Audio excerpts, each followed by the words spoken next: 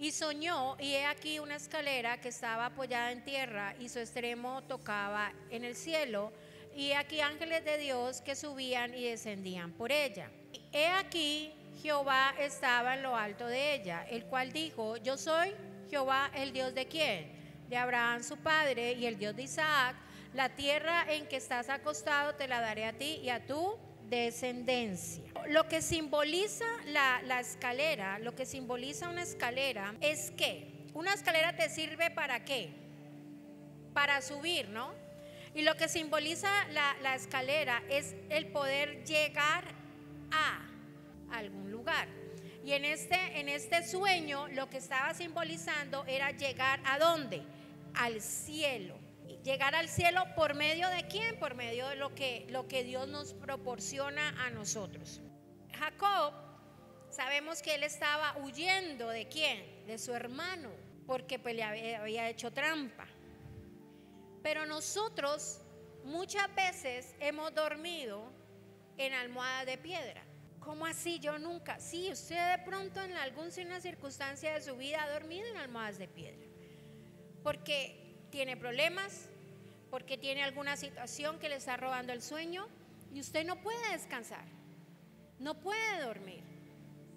Y una de las de las de lo que más dispara el estrés es, es no dormir bien. El no dormir bien afecta tu salud. Pero aquí lo vemos en la parte espiritual y era que él coloca su cabeza, él dice, yo voy a descansar sobre un montón de piedras. ¿Quién duerme sobre un montón de piedras? Nadie, porque eso se le va a tallar. Y cuando nosotros tenemos un montón de problemas que no podemos conciliar el sueño, haga de cuenta que estamos durmiendo en qué? Sobre piedras. Sobre piedras, porque es en ese momento cuando de pronto uno está viviendo la peor, el peor momento de su vida, la peor angustia, la peor situación, la pensadera, que no lo deja usted. Pero la Biblia dice que nosotros no podemos añadir un codo a nuestra qué, a nuestra estatura. O sea, usted ya es así grande, pues grande quedó. Bueno, ya con la edad pues se va chiquitando. Pero si uno es chiquito, así ya se quedó. O sea, ya ahí ya no hermano, ya le pueden hacer la cirugía. Sí, hay cirugías ahora que le añaden hueso. Yo no sé qué era que le añaden a la gente, pero es tan doloroso eso que yo creo que el cuerpo en algún momento le va a pasar la factura. Porque es que la Biblia es clara. Yo no puedo añadir un codo a mi estatura. Entonces, por más que uno se preocupe, no va a hacer nada.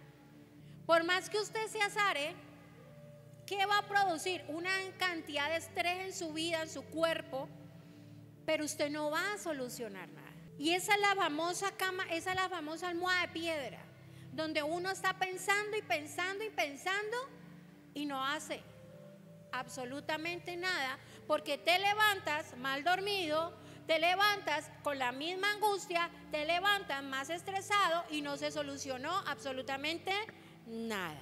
Pero es ahí cuando Dios muestra la misericordia sobre nosotros. Recuerde que la Biblia dice que sus misericordias son nuevas cada mañana. Y Jacob vio esa escalera que iba de la tierra al cielo y veía los ángeles subiendo y los ángeles bajando al mismo, así. Que Dios es el medio por el cual nosotros vamos a Dios, Jesús, perdón, es el medio por el cual nosotros vamos al Padre y el Padre trae consuelo, el Padre trae ayuda, el Padre nos protege, el Padre escucha nuestra oración y nosotros vamos a salir diferentes. ¿Cuánto me están entendiendo? ¿Y qué representa todo esto? ¿Qué representa la escalera? ¿Qué representa toda esta, esta simbología que vemos aquí en este pasaje? Y número uno, representa la providencia de Dios y que es la providencia de Dios la cual nos mantiene a nosotros en un intercambio constante con el cielo, en un intercambio constante entre el cielo y la tierra, en un intercambio en el cual yo estoy ahí sabiendo de que Dios es mi guía y que Dios me iba a cuidar. Porque cuando usted todavía, en medio de su angustia, en medio de su problema, no pierde la fe, no pierde la, la, conexión con Dios, ahí donde el Señor le está diciendo, ese es el punto que yo quiero que tú estés. Que siempre sea yo tu guía. Que siempre sea yo el que te, el que te va a guardar. La mediación que hay entre el Padre y nosotros se llama quién? Jesucristo. Cristo es el camino. Todos los favores de Dios vienen a través de quién? De Él. Él es el único medio que nos pueda a nosotros ayudar. No tenemos, nosotros no tenemos el camino para llegar al cielo, sino por medio de quién? De Jesucristo. Cuando yo recibo a Cristo en mi corazón, yo estoy accediendo a que ya voy en camino hacia Él. A que ya yo sé que Él va a estar conmigo en cada escalón en cada etapa de mi vida. Pero, ¿qué pasa? Mire, a veces nosotros no entendemos lo que Dios quiere hacer. Y las promesas de Dios son eternas. Las promesas de Dios se cumplen para nuestras vidas, cuanto le entienden. Y si Dios da una palabra y una promesa para tu familia, tu familia lo va a hacer. Pero no depende de Dios, depende de la persona. Si la persona no quiere recibir la bendición de Dios, ya es otro cuento. La, Biblia es clara cuando dice, eh, cuando le decían a, a Josué, Josué dijo, yo y mi casa le serviremos al Señor. Nosotros como padres tenemos la responsabilidad de enseñarles a nuestros hijos con buen ejemplo, enseñarles a nuestros hijos el amor de Dios, enseñarles a nuestros hijos el camino que deben de seguir, pero si ellos no quieren, ¿quién los va a obligar? Nadie. Entonces usted no se puede echar a la pena, echar al dolor, porque es que mi hijo, porque es que mi esposo, no, hermano. Hay una promesa sobre su casa. Esa es la promesa que hay sobre su casa. El que quiera está bajo esta promesa y se le va a cumplir. Y el que no quiera se va a apartar. Y el problema es de él, porque no quiso recibir qué? La bendición de parte de Dios. O sea que ellos mismos se excluyen, porque Dios cobija todo. Dios cobija toda nuestra familia. Pero los miembros de nuestra familia son los que realmente se excluyen. Y en ese momento en que Jacob está viviendo uno de los momentos más angustiosos de su vida, porque salir de todo, salir corriendo, salir huyendo, no es fácil. No es fácil, porque dejó su casa, dejó todo. Dejó todo porque él hizo algo que no era. Pero todo estaba en el plan de quién? De Dios. Y él entiende en medio de su proceso, en medio de, de lo que estaba viviendo allí, cuando Dios se le aparece, cuando Dios le muestra, cuando Dios le dice, él entiende de que Dios nunca lo iba a abandonar. Y ahí es donde Jacob tuvo un encuentro con Dios. ¿Cuántos de nosotros hemos tenido un encuentro con Dios? O hay personas que nunca han tenido un encuentro con Dios, pero cuando yo tengo un encuentro con Dios, yo voy a tener unas unas ventajas, por así decirlo.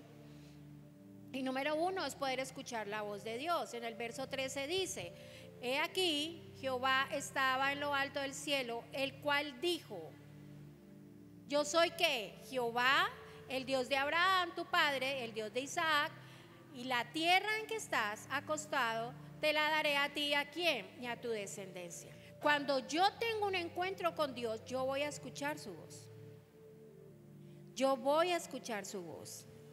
Y miren, y miren lo tremendo. ¿Hace cuánto que tal vez tú no escuchas la voz de Dios? ¿Hace cuánto tú no tienes una conexión con Dios? Que Dios te diga a través de la Biblia, o Dios te hable, o Dios te muestre algo para tu vida. Preocúpese si usted hace tiempo no tiene una conexión con Dios. Porque una cosa es levantarte y hacer tu rutina normal, pero otra cosa es escuchar en tu devocional cuando Dios a ti te habla. Una cosa es escuchar en tu devocional cuando Dios a ti te está diciendo una dirección, te está diciendo haz esto, haz lo otro, mira, deja esto. Y, esa, y, es donde nosotros podemos entender cuando tengo ese encuentro con Dios que mi vida tiene otro sentido. Hay gente allá afuera que necesita tener un encuentro con Dios. Hay gente que necesita por eso lo más tremendo es cuando la gente, y qué triste es, ¿no? Que cuando las personas ya están a punto de fallecer o, están pasando por la crisis más grande, es que quieren buscar a Dios. Y cuando tuvieron tantos años o tantas oportunidades de buscarlo a Él. La mayoría de nosotros, puedo decirlo, que llegamos a los pies de Cristo por algún problema. Llegamos a buscar de Dios porque teníamos o estábamos viviendo una situación. Yo creo que son poquitos los que llegan a Cristo sin problemas. Llegó porque sí, no. Todos llegamos a un momento y casi eso es como una estadística. Casi el 90% de los cristianos conocimos o aceptamos a Jesucristo en nuestro corazón porque estamos viviendo un proceso. Y cuando nosotros eh, llegamos a Cristo y sabemos y, y, nos dejamos guiar y Dios empieza a orar en nuestra vida, es ahí cuando nosotros empezamos decimos, wow, la voz de Dios era verdad. Porque Dios nos guía, amén. Número dos, tenemos sus promesas, versículo 14. Dice, será tu descendencia como el polvo de la tierra, y te extenderás al occidente, al oriente, al norte y al sur, y todas las familias de la tierra serán benditas en quién? En ti y en tu qué? Y en tu simiente en medio de un problema, en medio de la crisis, y que Dios te dé esta palabra y decir, ¿cómo así que, que, que, mi, descendencia va a ser como el polvo de la tierra y que voy a ser bendito si antes vengo huyendo de mi casa? Antes vengo saliendo, antes vengo corriendo de la comodidad. Y es que nosotros tenemos una responsabilidad. Y el que tiene a lado, tú tienes una responsabilidad. Y es que tenemos que apropiarnos de las promesas que Dios nos ha dado para nosotros. Porque esa promesa que está hablando el Señor, esta promesa se la dio a quién? A Abraham y a Isaac. Pero Jacob la que la tomó para él. Jacob la abrazó. Jacob dijo, esta promesa es mía también. Cuando yo me apropio de las promesas de Dios, yo voy a ser más que bendecido. Amén. Cuando yo en medio de la dificultad, en medio del problema, en medio de la circunstancia, de lo que estoy pasando, recuerdo la promesa que Dios me ha dado, usted es como si volviera a conectarse. Ahí es como si le estuviera acabándose la batería de su celular y usted le coloca su, su, cargador y así.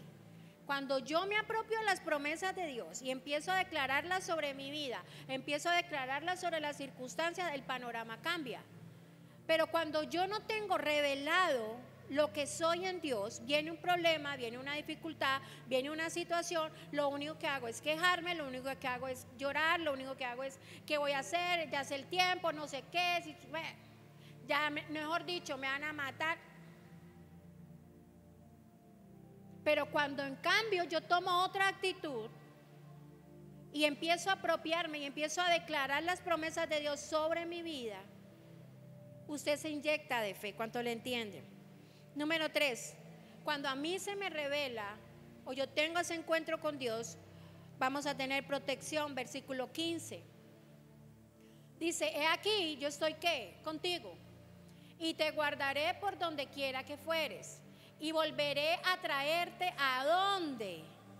A esta tierra, porque no te dejaré hasta que haya hecho lo que te he dicho.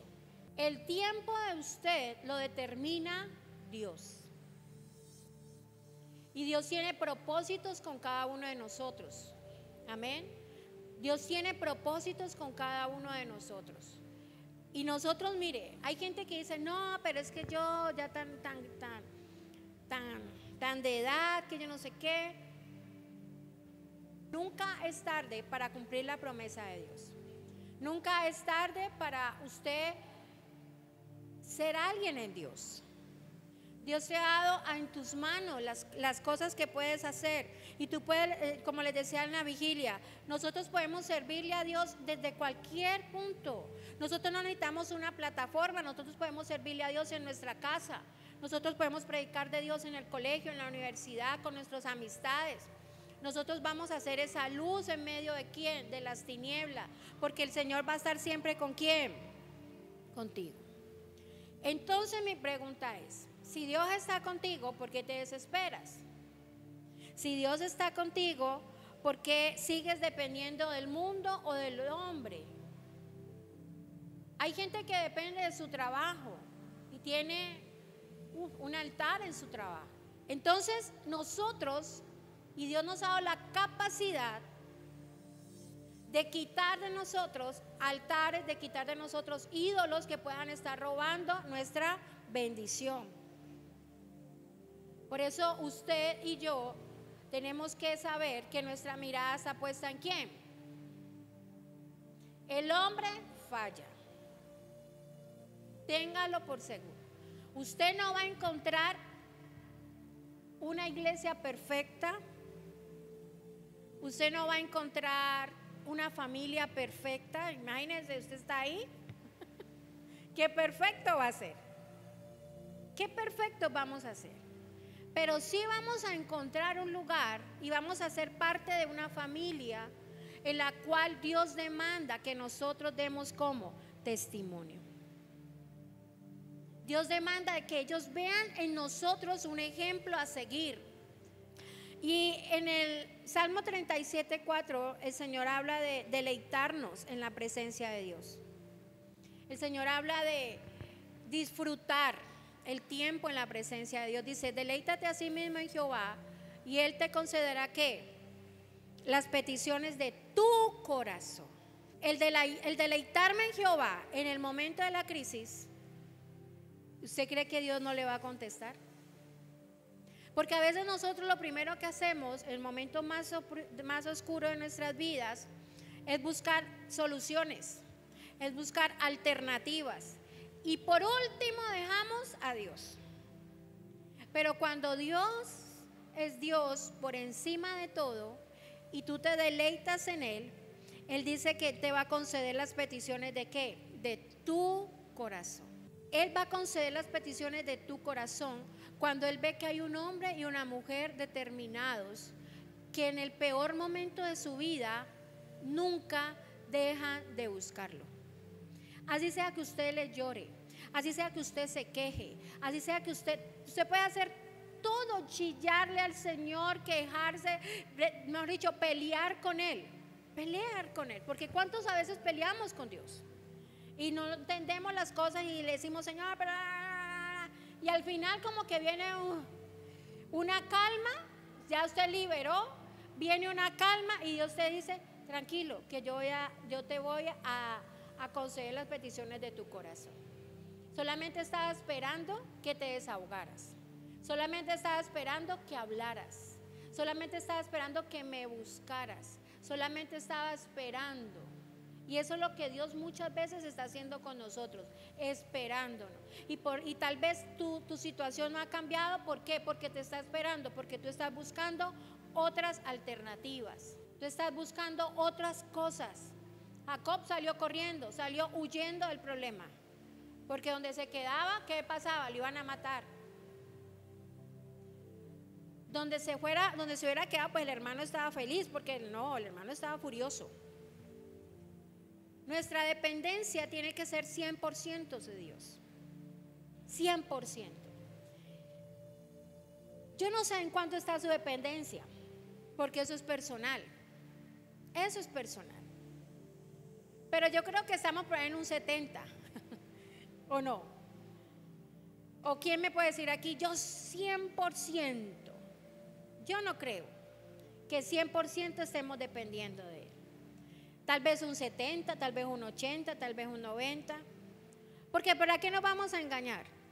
Si cuando nos, nos dan una mala noticia, nos mueve el piso, ¿o no? A pesar de que sabemos las promesas de Dios. a pesar de que sabemos lo que Dios va a hacer con nosotros. A pesar de que, además, a pesar de que Dios nos ha advertido y nos ha dicho, no hagan esto, no hagan lo otro, hagan aquí, hagan allá. Mm. A pesar de todo eso, uno como que, ay, ¿será?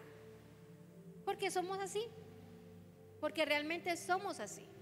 Porque realmente no dependemos un, un nivel alto de los, por ejemplo, los muchachos que juegan esas, esos, esos, bueno, esas cosas, esos juegos de, esos juegos de play, pues, que le dan vida, les quitan vida. a, mí, no me, a mí no me gusta jugar eso, Nunca me ha gustado, porque a mí me estresa eso. Si yo hago Duolingo y si me equivoco me da una piedra porque después no me deja, no me deja seguir. Y tengo que esperar hasta el otro día. Y uy, yo estoy a veces que lo elimino, pero digo, no, yo tengo que aprender. Paz mental. no, pero si a mí eso, y usted imagínense jugando, jugando esas cosas que le va a acabar la vida. Veía que le van a lo, lo mataron y perdió. Uh, fuera de juego. Así muchas veces estamos nosotros fuera de juego. Así muchas veces nosotros estamos sin pilas, hermanos, descargados por el piso. ¿Y qué? Llega alguien y te dice, recuerda esto, recuerda lo otro, mira esto, mira lo otro. Ah. Y usted como que, ay, sí. Y usted como que vuelve, ay, sí, es la aguada, es la aguada. Y vuelve, respira profundo y arranca nuevamente. Porque mientras haya vida, hay esperanza. Y mientras usted y yo le sirvamos al Señor, vamos a saber que Él concederá las peticiones de qué. Porque tenemos que aprender es a deleitarnos. Tenemos que aprender a deleitarnos en el Señor. Y es ahí el punto de quiebre en nosotros.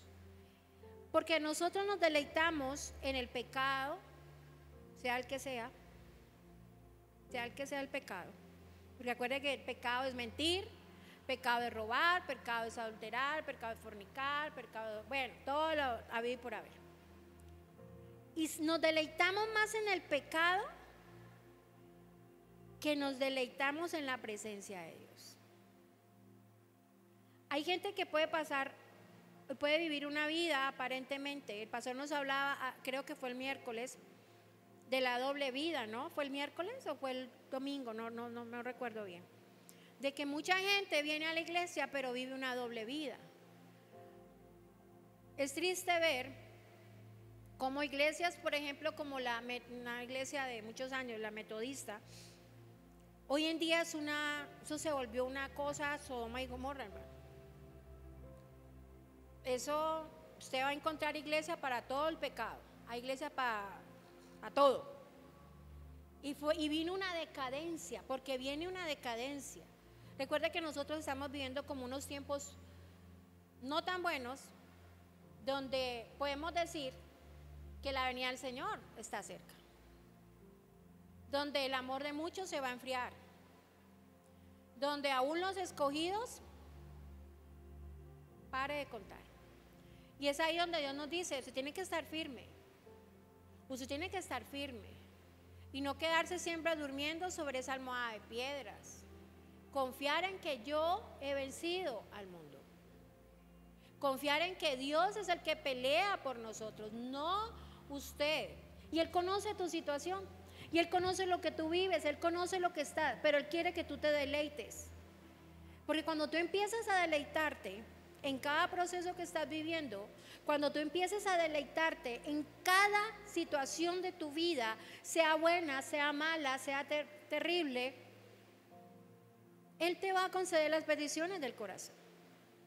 Y esa escalera al cielo es el acceso que Dios nos está diciendo que nosotros tenemos con Él. Esa escalera al cielo es donde diciendo, ustedes me buscan y yo voy con ustedes de escalón en escalón. Y puede que se devuelva, como puede que siga avanzando. A veces Dios nos tiene que dar como ese punto ahí, como, como chuzarlo a uno, para que diga, vea pues reacciones, ay, sí, sí, sí, está, está, está, sí, ya, reacciones. Y dije, uy, no, no. Así tiene a veces Dios con nosotros. Viene un, viene un desajuste para uno, uy, sí, sí, no, ya, ya, ya. No, no puedo hacer esto, yo tengo una consecuencia, si hago algo malo, tengo esa consecuencia, y no, yo no quiero esto. ¿Pero por qué? Porque tenemos que aprender a deleitarnos en el Señor. No todo es color de rosa. Eso solo pasa en las novelas. Que la pobre casa con el rico, hermano. Y que vivieron felices para siempre. Felices para siempre no hay. Bájese esa nube. Es que yo quiero tener un esposo para ser feliz para siempre. Ay, no. Usted es feliz. Usted es feliz. Porque uno con el esposo, pues hermanos, son dos, dos personas distintas. Y siempre va a haber la lima. Eh, porque yo soy la lima para él y él es la lima para mí. Porque entonces, entonces no hay, no, no es color de rosa tu vida. Vas a dormir muchas veces en almohadas de piedra. Te vas a encontrar con gente que te va a tirar piedras. Pero también te vas a encontrar con personas que van a estar a tu favor apoyándote, personas que te van a dar un aliento, personas que te van a ayudar, personas que te van a decir, mira, levántate, tú tienes esto y esto, como hay personas que no. Mire, yo escuchaba a una, una joven decir, ella bajó 30 kilos y no le hicieron ningún bypass, ni se hizo la cirugía, no, ella bajó 30, no. Ella, ella bajó 40 kilos en dos años. 40 kilos, cuidándose y está muy bien. Y ella cuenta, se le arrima a una persona muy allegada a ella y le dice, ay, no, usted se está engordando, tiene que cuidarse. Ella la miró, bueno.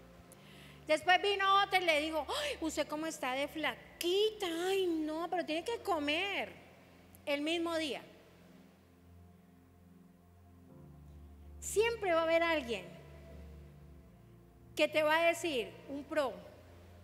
Siempre va a haber alguien que te va a decir, ay, no, pero hay otro que decir, levántese, vamos, ánimo, está bien, sigue adelante. Pero ¿a quién estás escuchando tú? ¿A lo que Dios te dice o a lo que el hombre te dice? Si Dios te ha dicho que yo, tú y tu casa le servirán al Señor, si el Señor te ha dicho que Él te va a sanar, ¿por qué te preocupas? Si el Señor te ha dicho que que bueno, que te va a dar, qué sé yo, si Dios te ha dado promesas, ¿por qué te preocupas? Deleítate. Debemos de gozarnos en el Señor. Debemos de gozarnos en la prueba. Porque hay como una canción que antes era que Jesucristo nunca te ha dejado, nunca te ha abandonado, ni en el día de prueba, ni en el día, ya no me acuerdo la canción, pero así decía. Y Jesucristo nunca me abandonará. Y es verdad, es verdad. ¿Cuántos han visto la mano de Dios? Y en ese problema que usted decía, esto no tiene solución. Y usted salió de ese problema. Y usted después dice, ¡Ah! ay, Dios me ayudó.